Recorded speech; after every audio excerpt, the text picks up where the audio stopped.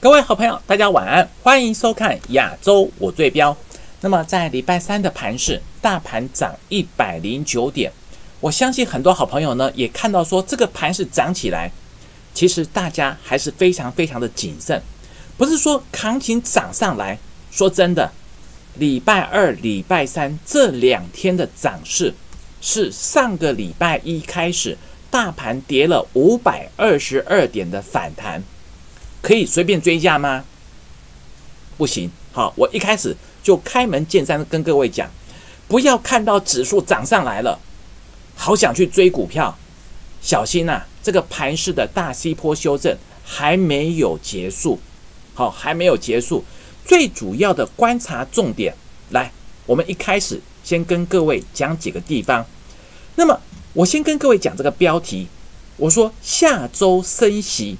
量缩将变，下周升息，量缩将变。现在升息时间很远吗？不会，下礼拜马上，下礼拜就是要升息的动作了。那么要升息的动作情况之下，该如何来掌握这个机会呢？绝对不是叫大家说哇涨上来了，赶快追股票。上礼拜一到这个礼拜一。六天的时间，大盘回档五百二十二点，很多股票跌了几十块，甚至像环球金，从上礼拜一三百九十八块，好一下子回到三百零一块，跌了九十七块之多，幅度非常的大。六天时间哦，幅度非常的大。那么今天盘中跟盘后。好几个好朋友所问到共同的问题，一开始我们先回答很多好朋友问的重点，好，这样子开门见山，也是你心里面最想知道的重点。我先讲，第一个，今天早上美国股市昨天呢是晚上开盘涨三百五十点，最高涨了三百六十八点，收盘跌五十三点，怎么会这样？我说这个盘式架构里面呢，好朋友，你真的如果有仔细看这个盘式的节奏，好，真的有仔细看这个节奏。昨天市场传出来说，中国要大减汽车关税，把原来对美国科的二十五趴去掉。好，原来大陆汽车关税从七月一号开始，从二十五趴降到十五趴，但是对美国呢，再加二十五趴。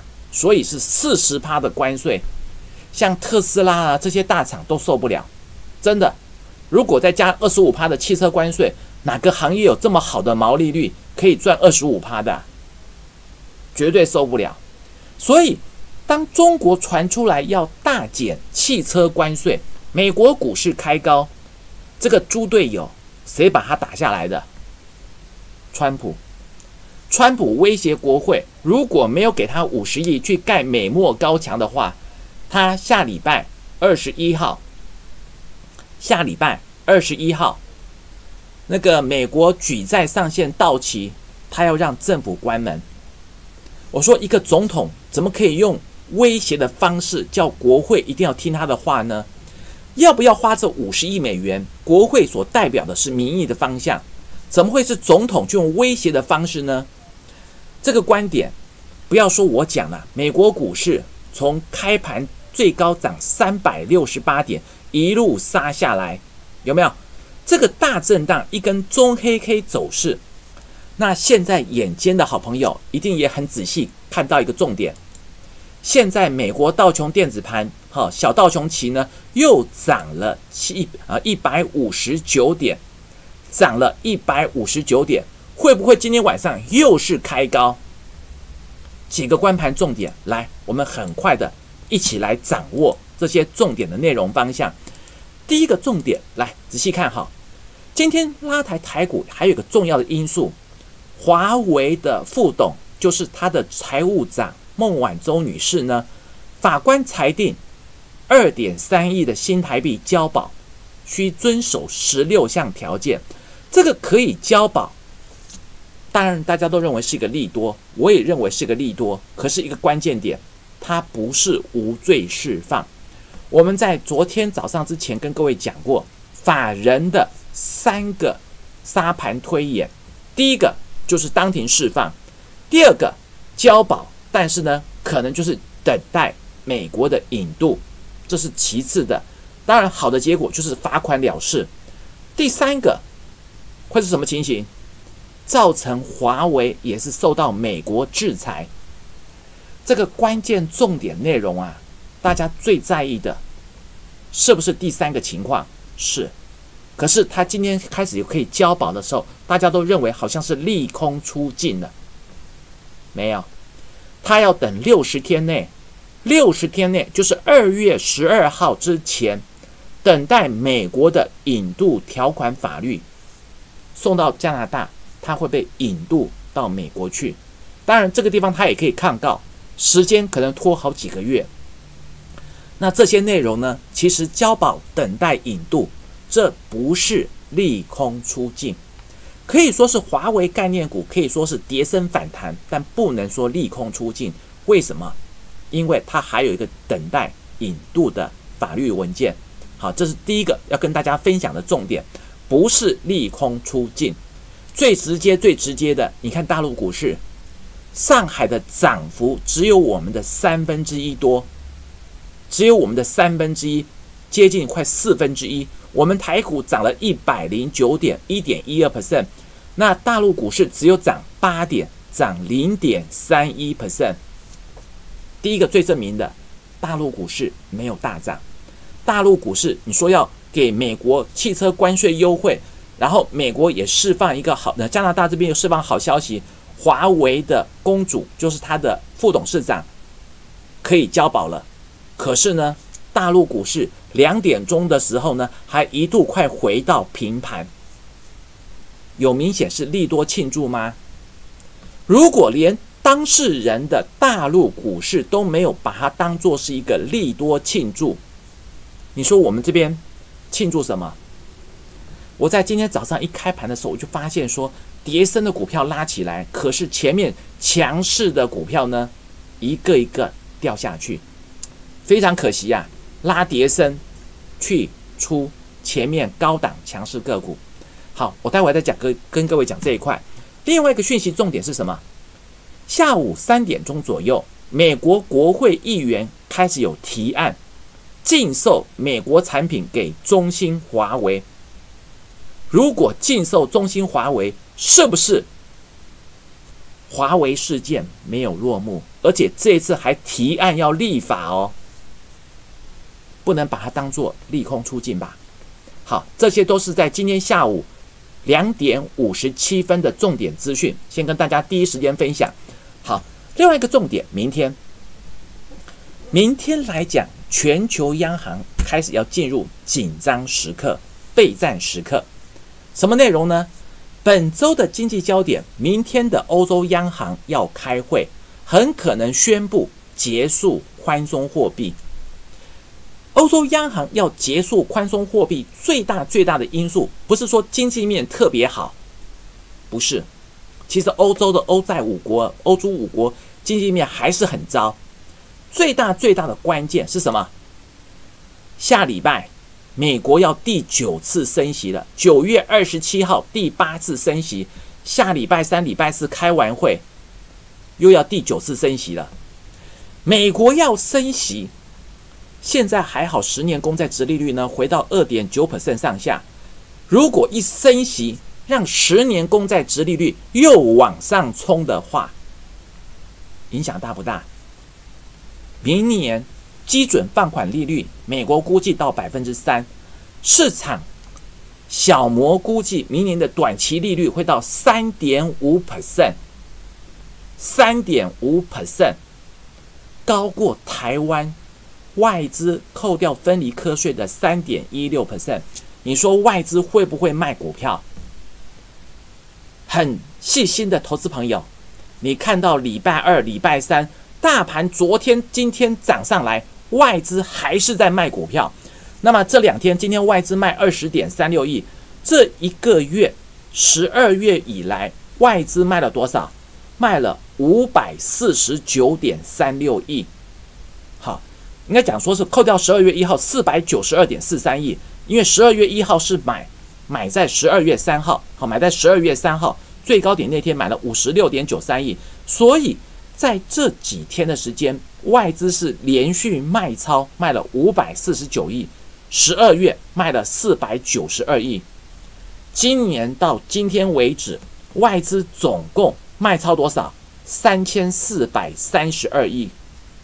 我先跟各位讲，如果股息值利率真的回到了百分之三、百分之三点五以上的时候，标普五百明年只有一点九趴的股息收益率。不要说台股，美国的标普五百指数只有一点九趴，远低于三趴。怎么办？会不会在这个时间点又是外资去调节持股？最大的关键，我再讲一次：下礼拜第九次升息，基准放款利率二点二五 percent 到二点五 percent，公债十年十年的公债值利率，美国又会冲到三点一、三点二以上，没有很远，就在下个礼拜。你如果知道这些法人的规划，我说我第一时间都跟你分享法人的思考跟观点。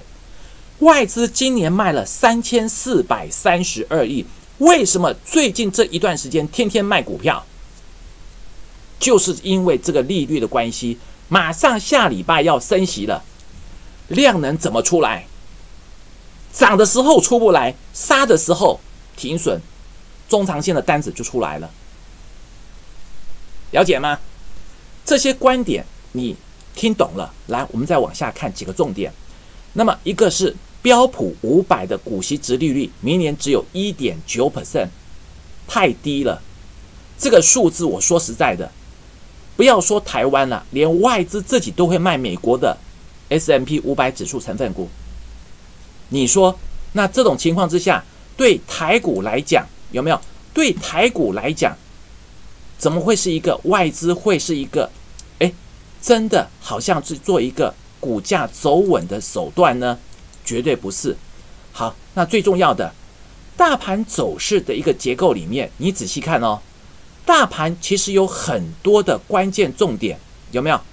关键重点就是在于说，当指数今天拉升上来，为什么昨天涨，今天涨，外资都是站在卖超？好好想一想这个利率的观点。我一开始先跟各位说明，哈。为什么外资今年到现在为止卖了三千四百三十二亿，数字非常的大。再来，十二月五号我们跟各位讲过，美债收益率曲线十一年来出现倒挂，经济衰退的现象有没有？现在这个讯号没有改变。我跟各位讲，现在不要说那个逆价差拉起来，就好像改变它的趋势，实际上。美国的一个债券市场，你仔细看很多的美感，要仔细观察。那么这些重点里面呢，我们如何来掌握接下来的重点讯息？来，你看这个地方，我说从十一十月底以来，你看到利多追高被打下来，利多追高被打下来，看到川习会大利多，大利多大涨，结果大跌。当天涨两百四十九点，结果六天回档五百二十二点。今天又是利多，华为公主被保释了，好交保了。今天又是利多，两天涨上来。我问你，谁在卖股票？为什么要一直拉抬给外资出货？这些内容我还是提醒大家：今日利多追高的，小心被修理。今天全市场大概百分之九十九都在看多，还是我马老师呢？告诉你，不要说看到利多，看到利多，看到利多，看到利多，每一次看到利多去追，被修理。这绝对不是我修理大家的，是市场真的有那几只手，好，有那几只手在修理短线利多追高，利空才会压回来再买，了解吗？这个观点。你看这大盘四天，成交量都在一千亿上下。在上个礼拜五的时候，就有人问我说：“老师，拉回量说会不会又是一个凹洞量？”礼拜五如果说是一下低于一千一百亿，甚至一千亿水准的时候，第二天又回到一千三、一千四，那个是凹洞量。可是你看这四天，明显的是退潮量，没有进来。最可惜、最可惜的是昨天、今天上涨，昨天、今天上涨，今天的成交量连一千亿都没有，是不是非常可惜？这个现象。大盘这六天跌了五百二十二点，涨四百七，跌五百二十二点。礼拜一的时候收盘创了十一月新低。今天国际股市都有反弹。我跟盘中的好朋友讲，国际股市反弹，欧洲的英国、德国、法国都是创今年新低，日本也创了五个月新低，美国道琼也创了五个月的新低。台股这五个月的新低在哪里？九千四。台股有没有创新低？没有。为什么涨涨不上去，跌跌不下来？有人上下就是给你做价差，趁着今天利多又在卖股票。不要说外资了，外资是天天卖超。你如果看到这个数字，你先看这个图形好了，来，你看看外资卖了多少。一二三四五六七，连续七天卖超，除了十二月三号一零一四八有小买超五十六点九十三亿，五十六点九三亿之外，这七天天天站在卖超的方式。那么在十二月以来，你看到外资卖了多少？四百九十二亿，包含十二月三号第一天哦，卖了四百九十二点五六亿。外资是不是继续卖股票？好，这些观点了解之后，来仔细看几下。加权指数四天没有量，没有量，升息的冲击下礼拜就要来了。你说这些大资金的，包含外资，会不会先卖？你告诉我，事实证明外资是连七天卖超，连七天卖超。你回头看一看。大盘站上万点之上，是连续三百六十五天的套牢头部。为什么在这一次十二月三号一零一四八冲不上一零一八九，没有办法站回万点？你想想看，这个逻辑要拉指数不难呐，它就是拉台积电、拉红海、拉全指股。可是拉完全指股之外呢，没有股票可以。很强势的垫高指数，所以我还是建议大家避开万点三百六十五天的套牢头部，就是这个区间十七个月。好，十七个月，你看这十年的走势是不是形成一个头部形态，像一个 M 头架构？然后呢，高档没有回到颈线。那这些观点来，我们在十一月一号我们所说的。可成有没有？我还特别去这个属于可成的 YouTube 这个影音里面截图，十一月一号三百零三块，跌到昨天两百一十七块，好不容易今天有稍微反弹一下，你想想看，这一段大跌有没有请大家避开？不是只有可成啊，太多了。我们很多的重点都放在我的 YouTube 账号里面，YouTube 账号是 G O O 点 G L。斜线 e k 六三 g u，好，好朋友都可以先锁定我的 YouTube 的影音右下角有订阅的浮水印，或者是账号右边有订阅的字样呢，按下去就可以完成订阅，好，非常的方便。那再来，手机族群到底景气好不好？不用我讲，大力光啦，很多电子大厂都已经告诉大家了，现在十二月也走到上旬了。马上再做半个多月，十二月份今年就结束。你看，大陆的中国手机厂锤子科技有没有？昨天传出来，是不是有资金很紧俏的问题？今天呢，再传出来，连三星的天津手机厂十二月三十一号要停产，一年的产量啊，三千六百万只，哎。一年的产量三千六百万只，竟然要十二月三十一号停产，这些怎么会是手机啦、景气面的好消息呢？这些观点，再回到台积电，很多高价股票从十二月三号外资这天还有买哦，然后就一路杀。台积电这六天的时间跌了十六块半，这两天反弹，你仔细看，外资有真的大买吗？我让你看看外资的筹码，这两天哦，台积电明明就是看大家看到有在拉指数。好朋友还问我说：“老师，昨天、今天最后一盘都是五千张、三千张的大单，可是你仔细看这个大单是卖，昨天价格没有动，但是内盘价是往下掉，这些都不是外资在买进的，有没有？三千四百八十四张，是不是外资卖的？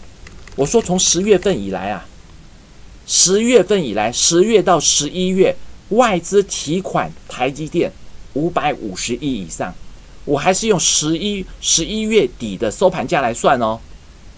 十一月底的收盘价五百五十亿以上卖台积电，这个地方反弹上来，外资还是在卖。你看到这一个月外资又卖了两万多张，我要讲什么？四十几亿又被外资给提款提走了，你去想一想。为什么护盘一直要护给外资做提款动作？只有一种可能。好，我礼拜六的现场再跟大家分享。那最主要的，大家也看到一个很真实，今天外资又大卖的中美金，卖了七千八百张，连续三天跌破季线。老师，这一段不是跌了二十二块，跌很重吗？对，跌很重，超涨上去，怎么上去？怎么下来？你看看，我说国内的内资啊，国内的内资在最后超涨的时候，最后超涨的时候大买，有没有？国内的内资投信法人大买，结果二十二块一下子跌两层，又开始要停损了。为什么最后去拉抬给外资大卖？你知道吗？这九天的时间。这九天，外资连续大卖中美金四万四千两百九十四张，看懂了没有？这些都是精彩的故事啊！我们礼拜六再跟大家做详细的说明。最主要的重点，你看可成，这六天的时间跌了七十七块半。我如果说图形没有放大，你没有感觉，我把图形放大。价位都标出来，十二月第一个礼拜跌最重的是高价股，台积电跌十六块半反弹，反弹外资今天还是卖，可成你看这一段跌了七十七块半，是不是反弹？跌太重了，反弹上来拉高要避开，甚至放空，甚至。创意这一段从二一九跌到一八零点五，这六天跌了三十八块半，很重哎，三十八块半的修正，这两天也是反弹，不要追，该避开的要避开。再来国巨呢，这一个礼拜跌了九十三块，这两天拉起来算很弱，你知道吗？最主要这一个礼拜。国巨是跌九十三块，今天还收黑 K，真的很弱势。那么华新科呢？这一个礼拜跌了五十一块，最后这个地方的涨势怎么上去，怎么下来？是不是高价股？十二月第一个礼拜领跌大跌，国巨跌了九十三块反弹，华新科跌了五十一块反弹。昨天就有好友问我说：“老师，你怎么看法上好像稍微比较？”停顿了一下，没有这么看坏。我说跌一下跌太重了，很多个股啊，你再看一遍，从国巨从那个台积电开始看，台积电跌十六块半反弹，可成跌七十七块半反弹，创意跌三十八块半，国巨跌九十三块，华新科跌五十一块，环球金呢跌了九十七块，跌了九十七块反弹，中美金跌了二十二块，还没有反弹呢。昨天收盘价还创了十二月的新低，今天开高走低，虽然是小涨，但是非常弱。我刚给你看了，外资大卖七千八百张，这九天的时间，中美金一档，外资就卖了四万四千张。你想想看，这一段为什么是国内的投信法人拉给外资去大出货？这些很精彩的故事，我在礼拜六的现场再跟大家详细的说明。那最主要的，你看这九天，这九天是国内的投信法人拉上去给外资大卖四万四千张，现在从高档跌下来超过两成了，国内法人这个地方去追的。又在停损了，再多钱也不能这样子做啊！真的啦，脑袋有洞才会替外资抬轿出货。可是市场就有这种法人给你看，而且还是替国内小散户管理的。那么这些观点我们点到就好。最主要的这些精彩的重点，礼拜六的早上高雄，下午台中，晚上台北，好。要报名的好朋友，把握这个机会，零二二五七八三七七七。因为讲到这些故事啊，讲起来非常的精彩，但是呢，也不能直接讲，直接讲的话会得罪很多人，甚至呢，以后可能下午要常常去喝咖啡了。哈，最主要的，来，我们先看几个地方。昨天告诉大家，道琼是创了六个月的新低，今天早上还在小跌哦。你现在看到美国道琼奇。好，道琼奇就是电子盘呢，还涨一百七十八点。现在涨不见得涨，就像我昨天讲的，昨天的时候涨两百多点，我说收盘还不见得。你看，昨天晚上开盘涨三百五十点，收盘跌五十三点，是不是一根将近四百点的黑 K？将近四百点的黑 K，你要知道一件事情哦。昨天是利多追高的，套在上面。今天晚上，礼拜三的晚上，就是美国股市十二号，如果又是开高，以现在估计它的开高位置又刚好是在五日线附近，会去帮昨天套牢的人解套吗？不会。美国的法人超过五成，更精，他们都知道下礼拜 FED 要升息。他们也会开高之后呢去做调节，了解吗？所以我今天告诉大家的主题：下周升息量缩将变。好，这些观点你仔细看。那我还是跟大家提醒，这个道琼 M 头的架构，从礼拜上礼拜一我们就跟各位讲，上礼拜一哦还没有反弹高点的时候，我说反弹上来会见高点，带上影线。结果从礼拜一的收盘到昨天的收盘，跌了多少？一千四百五十六点，一千四百五十六点。你认为它会形成一个比较强势的转折吗？这个地方有没有是一个 M 头架构？是一个 M 头架构，不要去猜，它会一个转变的一个走势。好，这点要特别特别的注意。好，那再来反问一个观点：如果外资真的这么看好台股，为什么今天不买？而且外资今天卖超上市二十点三六亿，它是连六天去买富邦 VIX。这两天台股反弹，美国股市呢震荡一下，富邦 VIX 回档哦。十二月这六天累加起来。外资又加码了十二万五千张的富邦 VIX。外资为什么大幅加码富邦 VIX？就是看美国道琼的波动率。下礼拜有升息，有美国政府要关门，精彩啊！一个一个事件，川普真的很卖力演出。好，这些我点到就好。那最主要的，我说。大力光昨天跟各位讲，要避开这种两位数。十一月不好，它不是利空出尽；十二月还可能再降低，明年第一季还看不清楚。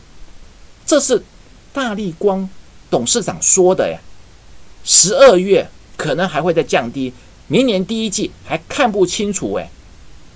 你要感谢拉高的机会，拉高出是拉高放空，拉高卖，不是给你追的，好不好？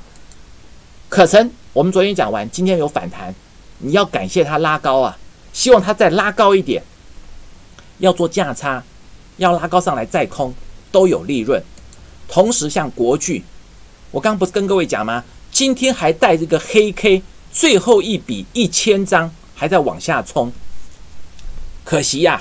真的很可惜，如果这一波反弹强度很强，是放在被动元件的话，很多投资朋友早就解套了。可是它放在细晶圆，跌了七成多的细晶圆，反弹幅度比较强。那接下来呢？你看华新科是不是一样的情形？今天呢反弹上来，不要乱追股票。神盾今天再拉高，回到这一波的高点。我跟各位讲，你要感谢拉高出的机会，它的营收减少了，月减二十一趴，股价一百九十二块，刚好是颈线的位置，多了五毛钱，能不能站稳？那么康控呢？股价有反弹上来，月减四成，年减五成，呢，非常大非常大的降幅，反弹上来给你好的卖点，空点不是追价的。那么昨天讲的智茂只小涨零点五，好，零点五真的很弱。穆德呢涨了十一块半，这也是反弹，你要把握机会。比较弱势的像如虹，有没有跌了两块？巨阳跌一块，还有智毅跌零点八，今天几乎高点越来越少了。那最主要的关键重点，你看环球金，十二月三号的时候。我们告诉大家，避开今天反弹哦，还跌四十五块。中美金高档，请大家避开，还跌十五块九。合金呢，今天反弹还跌二点三五元。类似这种高档出现反转现象，这种高点的反转点出现的时候，不管是你要卖还是要空，把握机会。比方说，我们在今天盘中告诉会员朋友，你看今天的星星。大盘指数涨一百零九点七万六千张，结果呢，反而领先带大量的黑 K 下跌，南电大量的黑 K 下跌，甚至智毅今天也是创新高，大量黑 K 下跌，这些都告诉你弱势的股票不要随便乱抢，好，这点特别把握。好，那接下来我们先看一下好朋友问的一些个股，刚才我刚刚看了一下呢，好多好朋友问的重点。很精彩，五四八三有点弱势反弹，还有反弹的空点可以空吗？我也希望说它能够弹高一点，可是你看到真实的现象，今天晚上你看到外资卖七千八百二十一张，有没有？外资卖七千八百二十一张，你看一看，三大法人卖多少？七千三百九十七张，外资如果说带头大卖七千八百二十一张，最弱势的现象没有反弹，没有反弹，直接再往下回撤，因为这九天我刚刚算过给你听，这九天外资卖了四万四千两百九十四张，是不是我讲的？他为什么拉上去？国内的投信法人替外资抬轿，前面不大买哦，涨了四成五成以后才去大追，追完现在跌两成下来，又开始停损。再多的钱呐，这样子赔都赔不够的。但是我告诉你哦，中美金是一个很好很好的范例。这一波很多股票，你看它回都不回，一口气一个月有没有？大涨上来，没有回档修正，没有换手，一旦涨完结束，怎么上怎么下，后面的超涨，现在的超跌一样一起回来，了解吗？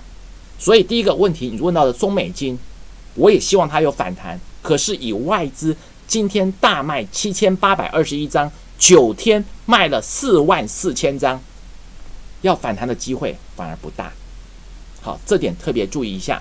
好，再来，那么二九一五的润泰拳适合布空吗？其实一个关键重点，我们刚各位讲过一个观点，你看润泰拳减资以后没有跌破月线，来，我给你看大一点，有没有看清楚？它的股价减资以后，礼拜一、礼拜二破月线，今天跟着大盘做反弹，你说外资买超的数量有没有？外资买超的数量真的不多，才两百张，就它五十六点四亿的股本，太少太少。最主要，我们跟各位讲过，你看它的营收，五个月每个月都下滑，连续三个月都是年减两位数，甚至将近五成。这种营收数字，本业不行，好，本业是一直在往下掉，除非就是跟明。就跟去年的十二月一样，再来一个年底入账啊，再来一个年底入账。如果没有年底入账呢，怎么挽回来？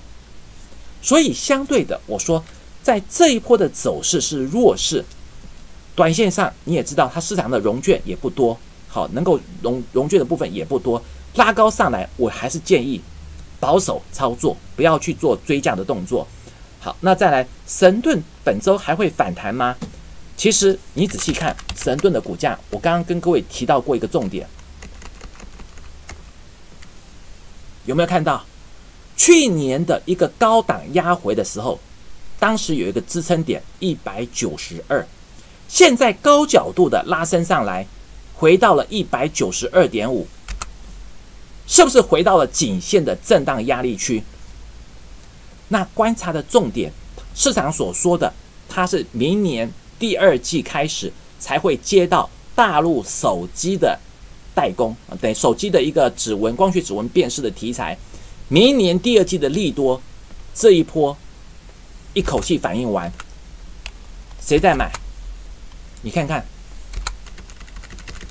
国内的投信这一波一路追上去，这个是做账行情吗？我也希望它是一个做账行情，但是不要像。我刚刚讲的，你再回头看一看中美金，他们买的价位点是什么价位点？买到后面，前面没有大买哦，低档还在追杀，结果买到后面大涨，给外资大卖。现在你看到六四六二的神盾，这一波拉上来的过程，外资就在跑，今天反而是外资换他自己拉，拉上来，散户会跟吗？你看看它的融资券，你就知道，其实融资来讲又在创新高，散户追的比较多。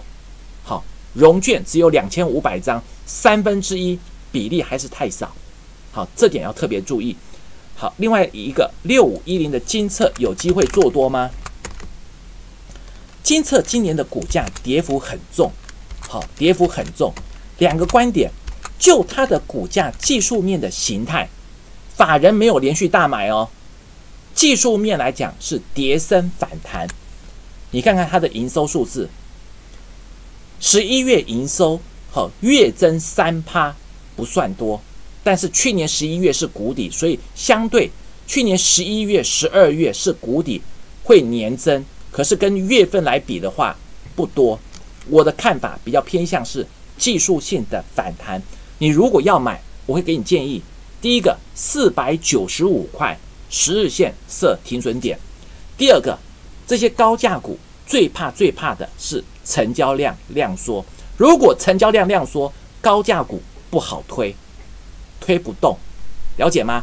一定要看大盘的成交量。好，这两点跟大家分享一下。那么再来四一四七的中裕，近日可以进场做多吗？中裕现在的股价走势，我跟你说，它现在外资还在大卖，而且是连续六天大卖。以目前来看，非常非常弱势。大盘涨两天，它两天都没涨，很弱势啦。我会建议你多观望一下，多等待一下，至少等外资它的卖超结束，股价开始反弹，你再来做进场，好不好？不要太早猜底。好，那再来。现在做空有券可空，一定会被嘎。要等高点反转，有钱也没券可空。先前的中美金及现在的南电都是。其实一个观点，不是说没有券可空。我讲一个实在数字来，你看这一波的南电融资在降，昨天融资在降下来哦，融券在增。最真实、最真实的，昨天融券增加一千四百四十四张，有没有券增？有。不要一直拿说没有融券可空当做借口，很奇怪。我们认识很多好朋友呢，奇怪，我讲的股票有些时候之前还没有开牌的时候呢，包含了像什么那个祥硕啦，那些券都非常少的，穆德啦，我们之前开始空的时候，没有人跟我们抢，等到我们开始公布出来的时候呢，这些好朋友们你们都可以空得到，祥硕啦，空得到，像穆德啦，那个券资比非常接近的，券很少的都有，南电。昨天一千七百四十四张，怎么没有没有空？是真的有人空一千四百一千七百四十四张。那五四八三的中美金呢？你看，拉到高点的时候，高点回下来的第一天，融券七千张，融资一万六千张，这个差距还有九千张的差距，怎么会没有融券可以空？我刚刚讲了。穆德也好，祥硕也好，那个融券很少的，都有人调得到，要得到。为什么？我跟你讲一个答案。你现在讲中美金，讲到南电，我跟各位讲，其实就是一个企图心。因为市场的融券它分布本来就不是像融资，每一家都可以借你钱去买。融券要有券商有融资余额，才可以有融券借你。所以第一个。你要找的券商，你不要告诉我说你家开那边开的是一个小券商，那当然没有融券嘛。第二个，就算是大券商，因为有些时候啊，大家都在抢，大家都在抢的时候，因为也还有当冲，现股当冲就没有问题哦。可是还有融券，他们也会当冲，所以这些融券有配额的时候，你要更积极一点去借券调券，好，不是标借哦，应该是讲调那个调券。跟其他分公司调券，甚至更积极一点，多开几家大券商，真正融资比较多、有融券配额的哪几家？市占率比较高的元大、富邦、凯基、永丰金、群益这些市占率高的券商，融券余额才多。你问到这个问题，我刚好顺便跟各位讲，中美金、南电。真的有，还有很多券可以空得到，不是没有券。八零四六的南电，昨天最真实、最真实的融券增加一千七百四十四张，真的借得到，不是没有。开户的地方，券商多开几家大券商，这才是最重要的关键，好不好？好，那再来，那好朋友来问了问几个问题的话。目前来讲，FED 如果说假使股市过度修正与非农数据差，反而取消升息的话呢？这不是我们自己猜的，在国外他们都有统计公司，现在目前的估计，下礼拜升息的几率高达七成二以上，七成二以上。市场上最近上个礼拜一直有提到说，明年会缓步升息，就像你现在问说，诶，可能因为经济数字这些数字公布出来，取消升息。他们所说的取消升息是明年三次降为两次，但是我跟你讲，两家券商高盛跟另外一家，我记得是小摩，都是看四次，不是不是两次，是四次。最大最大的关键，通膨。美国跟中国之间的贸易战造成很多物价上涨，通膨要上来，FED 一定要收资金，不收资金会有什么后果？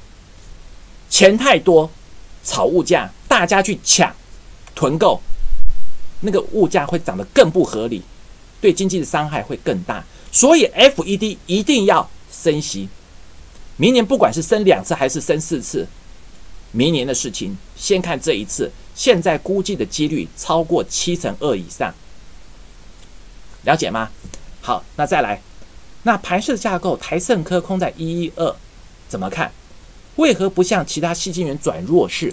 我在之前跟两位好朋友说过这个观点，台盛科为什么不看它？第一个，减资五成，退五块钱，小股东的人数持股少了一半，这个是减资五成哦。减资五成以后，股价又跌了四成下来，几乎白减了。现在的价位点还没有回到减之前的那个位置，你看，减之前七十八块四这个地方，现在的价位点还没有回到减资的参考价。第一个重点，它的股本大股东其实在这两年一直有在卖股票，那个股权的比例呀有下降，它不是透过库藏股，它透过减资以后。大股东还是掌握台盛科，可是小股东的筹码变一半，这是第一个重点问题。那第二个重点呢？你看到他的大股东前三大股东占了公司股权八成以上，在外筹码不多，外资真的有大买吗？为什么很多法人都不去做台盛科？八成的持股在前三大股东，一个是日本，一个是台塑集团两家。占了八成以上，我这样讲你就懂了吧？好，那再来，那目前来讲，三零三七，好，K D 值是否太高？今年大概只有赚一块三。其实这个手法，我刚刚跟各位说过，你先看中美金，有没有看懂？中美金从今年的高点一百五十三块半，有没有？一百五十三块半跌到四十七块一，跌到剩三分之一，再从三分之一的价格涨将近一倍。你看一看，谁在追价？我把图放成三图，你就看得清楚。谁在高档去抬轿追价？是国内的投信法人。那这一次三零三七的新星呢？前面是外资在买，后面是国内的法人在抬轿。好处是今天他们有调节了，不是说只是会买而已，也有在做调节，也有在做结账。这个观点其实不是说本一比的问题了。你如果要看本一比，那你很难解释啊。国巨有没有？今年法人再怎么调降，EPS 八十五块，八十五块的 EPS，目前的股价本一比四倍不到。华新科呢？二四九二的华新科。今年大概四十块，本一比大概也就四倍，四倍多了。你很难完全用本一比的观点去做分析，但是一件事情，股价还是会真实反映它的获利跟基本面，不然你为什么看到说最近这九天我刚刚讲的这九天，中美金怎么上去怎么下来，而且呢超涨超跌，四万四千张。今天大卖七千八百二十一张，这就是还原它的基本面跟真实的情况，不是只有星星呐。你如果说你看到星星，它还算是有赚一块多，对不对？八零四六的南电呢，我跟各位讲过，南电前三季还赔一块三，以它目前的速度跟十一月营收还衰退了五点八趴，今年可能还不会赚钱。今年不会赚钱，股价呢涨到四十二块四，你怎么解释？我之前跟各位讲过，我不会去空南电的原因，它的净值很高，一上市办理现金增资，公司的股价就一路下来。好，这个故事以后再慢慢讲。好，那再来富邦 VIS 可以追价买进吗？我还是建议投资朋友不要用追的。零零六七七 U，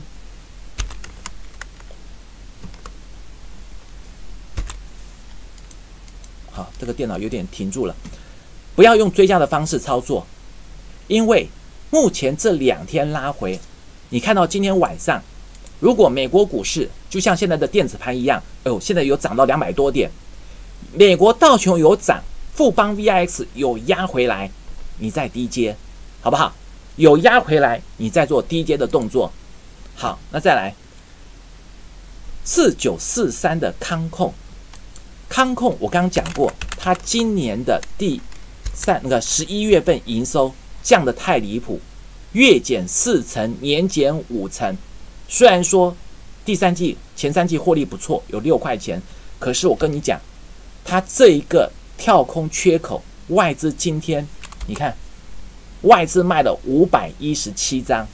我刚刚讲的，是不是请大家避开？这不是我今天讲而已哦，我昨天也跟各位讲，营收衰退的股票。外资会大卖，法人会趁着拉抬上来，拉得越高卖得越多。好，这点特别注意，不要去抢短。那再来，二三一七的红海空在七十点八，空在七十点八，真的没有什么好赚呐。我也说过，红海的股性，它的赚钱其实是非常具有什么全球的指标性意义。空在七十块八，没有太大的搞头。我会建议你换股操作。那一五一五的利三呢？利三的股价走势，我说连五日线都没有跌破。今天上影线比较长喽，今天上影线比较长，注意，代表说短线冲高到七十七块以上，确实卖压增大了。短线把五日线当做一个停利点，明天上来的速度会更快，不是现在的七十块一。如果现照现在这两天的速度的话，明天的一个低点支撑可能回到七十二块，五日线会回到七十二块附近，好，当做一个支撑点。五日线如果跌破，多单要退场一下。那八二九九的群联空在二一一，群联这一段从两百五十五跌到两百三十二，十二月第一个礼拜回档了二十三块，这两天反弹，但是大家都看到，早上我也赖给大家看，Fresh 的价格。其实，在最近，好记忆卡部分有反弹一下，可是呢，不管是第四季还是明年的价格，供过于求，那个喊叠加的速度啊，比低润还要夸张。我还是建议先避开，好不要去做多它。你如果是空单的话，等它压回来再回补。毕竟它这个时间点，它的一个融券，事实上融券多不多？你看最近这半个月。拉上去，融券也是在低档。融券在这一波上来的时候是一直有减，融资增加，融券没有增加，这个是筹码面的好现象，比较没有这种嘎空的题材。下周升息，金融股会涨吗？其实金融股在今天盘中连线的时候，我也讲两个重点，哪两个重点？你看看，金融股它在这一波这半个多月来非常非常的弱势。它先反映了两个利空，第一个，十一月份六大寿险公司赔钱，星光金赔很多，南山人寿赔钱，反映十一月大盘是上涨的哦，寿险股继续赔。第二个，在接下来的汇率贬值的时候，汇损的压力很大，汇损，金融股是这两个最大。如果升息对金融股是有利。很可能是趁着升息，到时候再来做反弹，因为这一波跌的太久了，它也会做反弹。再不反弹的话，会变成什么？变成十月底拉金融股撑指数撑上来，怎么上去，怎么下来？这个地方一定要先看到它站上五日线一千两百点的位置。好，这点特别注意一下。好，那再来，目前的盘势架构上来讲的话，很多股票我说说过了。很多的一个像融券的问题，一定要多开几家券商，而且呢要开大券商。好，一定要特别注意，要开大券商，小券商是真的没有。好，这点特别注意一下。好，那再来我们看一下 FB 好朋友问的个股问题。好，那 FB 好朋友问到说，类比科三四三八的类比科股价没有空间。前两天还有人说，诶，可不可以追？二十三块收购价，一般它要被收购的时候，这个跳空已经涨完了，现在回到二十二点八五，就是等着被收购，没有价差空间，要赚钱也赚不到。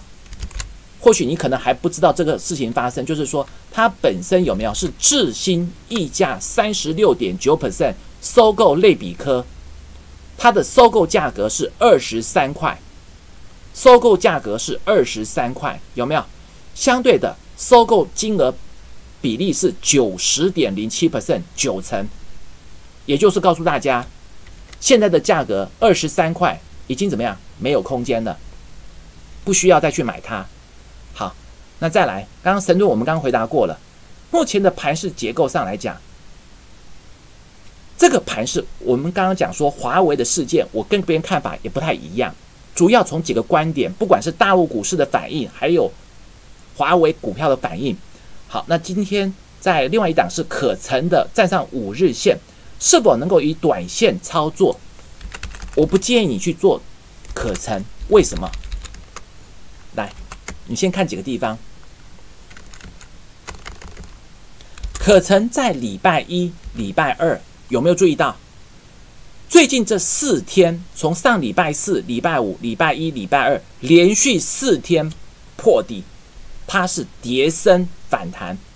第二个，在昨天为止，外资大卖三千四百八十三张，今天稍微买一下，买个一千两百张，买什么？拉抬一下手上的持股，拉高一点再大出。这个观点，它跌升可以做短空回补，但是不要去抢短，因为很容易抢短失败。好，我不建议去做抢短的动作。那再来四九五八的真顶会涨吗？真顶的股价其实不好做，大家都知道。你看，最近这一个礼拜，今天涨，可是呢，涨跌涨跌涨跌涨跌的，很不好做。它的股性，它最近在回测月线，月线七十八块六是支撑。你这个地方不管是做多也好，做空也好，不好操作这两个股。好，我会比较不建议去碰它。好，再来。创意是否会继续跟着大盘反弹？我会建议，其实一个关键重点，三四四三的创意这一波段为什么会急跌下来？创意这一波回档跌了多少？三十八块五，三十八块五。最主要的因素，其中一个不是他什么跟台积电合作那些 N N R E 的一个题材，而是说比特币挖矿股。很弱势，比特币一直在测低点，三千四百美元以下。比特币是破底往下探，相对反弹上来，我会建议，好空单还是做一个操作。你如果说是短，你是短空的，可以趁着它压回就先补，补了以后拉高再空，可以来回做一个操作。你说它底部爆大量，一个关键重点，你要看它底部爆大量的重点有没有来。你看看那天外资买一千八百张，可是成交量是一万八千张，一万八千张到这个时间点，从一百六十二块也反弹到两百一十九块，这一段也反弹的相当的多，不是没有反应过哦，有反弹过了。好，那再来我们再回答两个问题：六四五一可以做多吗？那我刚刚说过，VIX 的话可以可以接吗？低阶不要追价，好不好？我一直跟好朋友讲，低阶不要追价。六四五一，你如果说你想去做多它，我还是跟你讲，十日均线七十二块九设一个停损点、停利点。但是你这边你一看，外资最近这半个月还是一直在卖讯息，卖的原因我先跟你讲，有没有赚钱？虽然说营收都比去年大幅大幅成长。前三季才赚零点八四元，前三季才赚零点八四元。今年的获利数字，以目前十一月的营收来看，应该跟去年差不多，一块钱上下。可是股价呢，七十六块二，本一比真的还是有点高。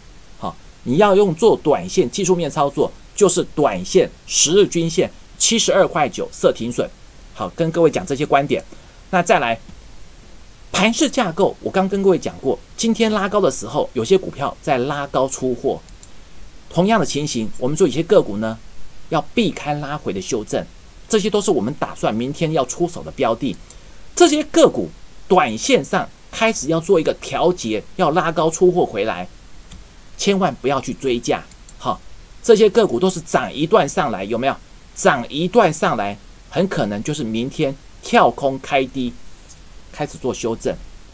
怎么样跟上这个脚步？甚至在这个礼拜六，礼拜六早上的高雄，下午台中，晚上台北，我再把二零一九年台股发大财的计划呢，跟大家一起来分享。不要说看到股价涨，说真的，这一波融资有大增吗？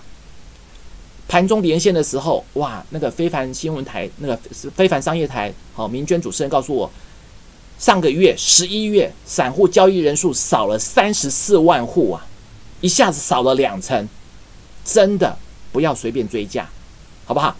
在礼拜六台股二零一九台股发大财的重点，再跟大家详细的说明。先要预约报名，报名专线零二二五七八三七七七零二二五七八三七七七。把握这个机会，也祝大家明天操作顺利。